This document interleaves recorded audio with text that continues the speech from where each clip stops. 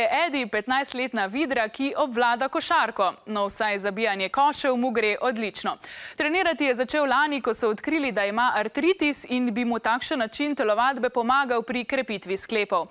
Edi v živalskem vrtu v ameriškem Oregonu košev ne zabija za zabavo obiskovalcev, ampak le za lasno zdravje in veselje, saj po vsakem košu dobi priboljšek.